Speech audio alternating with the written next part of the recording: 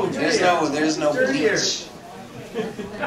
Uh, Morbid. morbid. Oh, deathly. All right.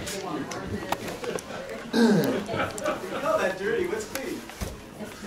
After the cessation of all altercation, a blush of laughter fell like a plush hand into a white kid glove, so tight did it shove into the satin that like a cotton batten couch, receiving a debauch, the warm putty gave way in the slutty form, upheaving the clay.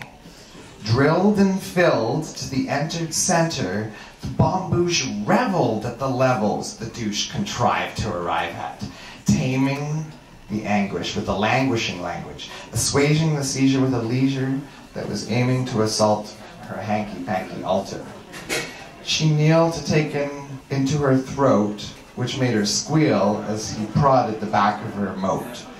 At his personal peril, she had felt the sack of seed gone feral in the portal to her grove, where he had strove to wield his mortal balls.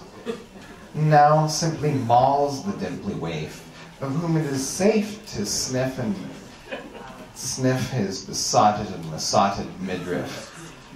Then he conveniently chomps the expedient tail pouting over her seams. He withdraws raw and soaking from her She's hovering upon the brink of tension, too long to mention. Her sink now needs to be unplugged by a donger plow. The weeds drugged miasma stops giving her asthma. She's dropped a mop onto the chalet floor and pivoted the mum like a ballet dancer to the backdoor romancer who's riveted into the doom of her womb out of which roamed daily a scaly alligator who rode her elevator and mowed the lawn of her dales, leaving trails of slime as it climbed and crawls past her shawls when at last it could reach her fudgy peach. Wag its flickering tongue, perhaps drag out some dickering dung for food. Cooing like a budgie at what he's doing to her figs, she's pleaded for a reprieve, please.